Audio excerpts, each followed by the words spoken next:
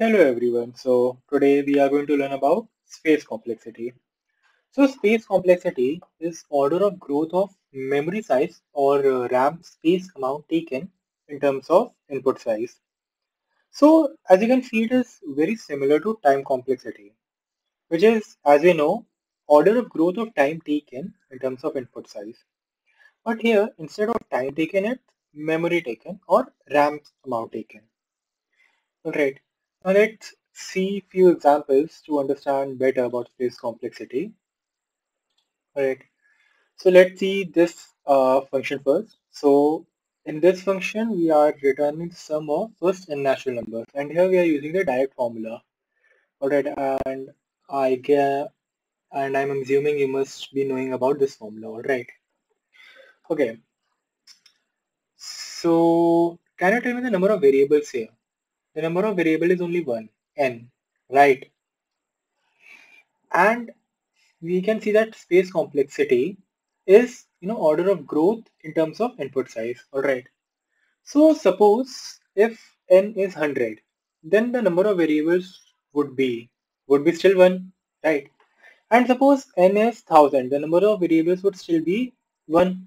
So number of variables is not depending on input size. So we can say that space taken by this uh, function is constant. So we can write space complexity as theta 1, right?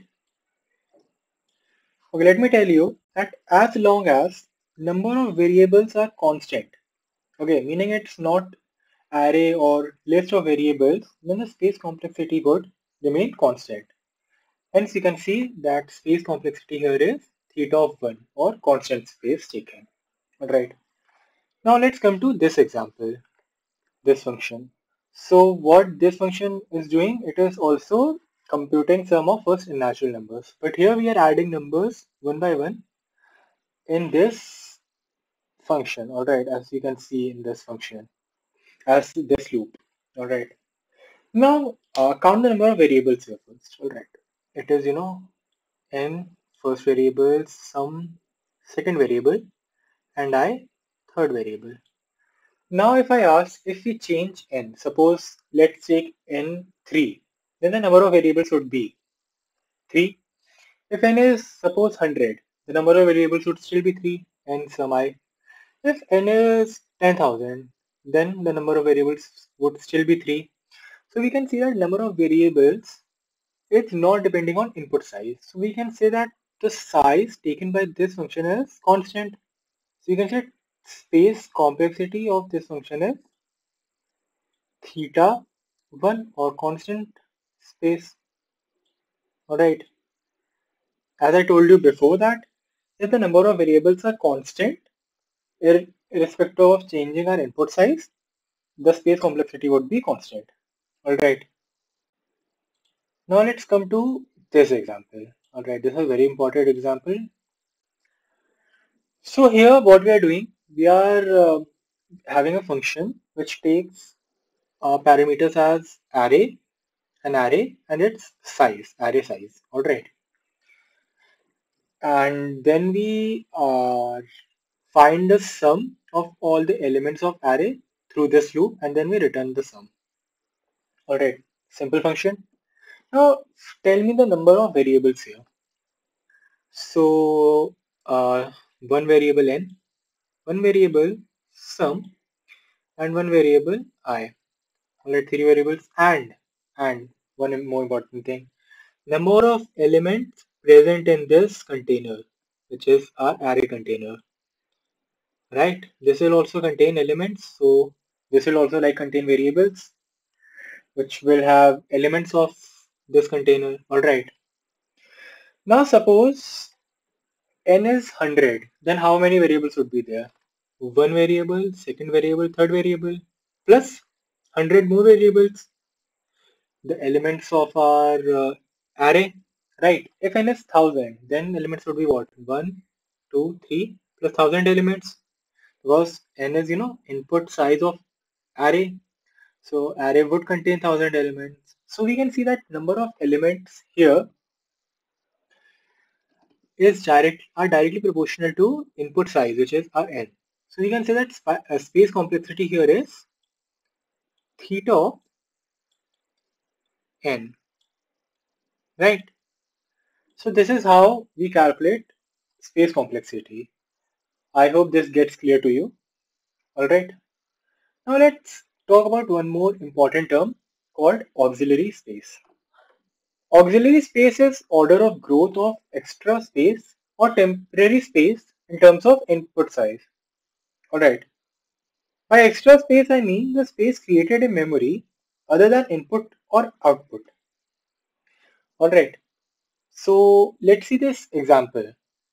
So here uh, this is the uh, same function as uh, we uh, saw before it is you know uh, having parameter as array and size of it and we are uh, computing the sum of all the elements of array and returning the sum.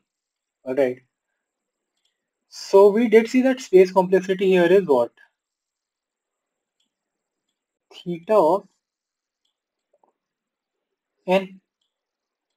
All right now if i ask you what would be the auxiliary space here so what did we say about auxiliary space? That it is extra space created which is uh, not related to input or output. Alright. So as you can see in this function, it only takes array, this array as input and no extra array is used for computation.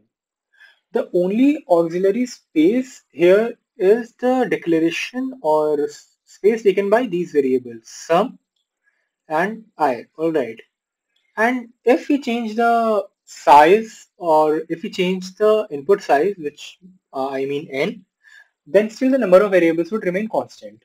Hence auxiliary space would still be constant which is theta of 1 right so I hope this is clear to you that what is auxiliary space, right? Now, if I ask you like, if we have to compare two functions to find the efficiency, then what would be the deciding criteria? So, a direct answer, it would be auxiliary space. Alright. Now, uh, you might be wondering why. Alright. Now, let me tell you about it. Suppose if you talk about array problems, list problems, or any problems which use input containers, then they are going to use theta n space for input, right? For passing array into their uh, parameter, like in this function, right? So space complexity would be theta n. So if suppose if I use an extra array here of suppose A right of size n okay. So the time complexity array the space complexity would still remain you know theta n right? Okay let me tell you um, what would be the space taken by this one? It would something be C1n, right? What would be the space taken by this one if there was this function? C2n. And then there are some uh, variables which would take time something C3. So what would be the total space taken? C1n plus C2n plus C3 right so we can you know club C1 and C2 and we can say something C4 so it would be you know C4n right plus C3 yes and if we find the order of growth what would it be we'll ignore the lower order terms and we'll ignore the coefficient of leading term so it would be n right so this is what I was talking about if we add this we'll still have the space complexity of theta of n but what would change here this auxiliary space, right? Auxiliary space would change here. It will then become theta of n, right? So this is what I was talking about. We are, you know, more concerned about auxiliary space or extra space taken by the function. All right. Okay, let me tell, tell you about something, uh, something about sorting algorithms, which will come later in this series. Suppose if you talk about sorting algorithms such as, you know, bubble sort, quick sort, insertion sort, etc.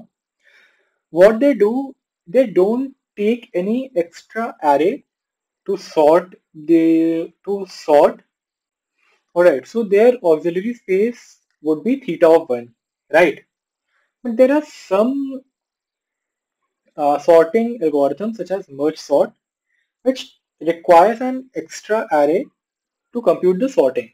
Alright, so its auxiliary space becomes theta of n.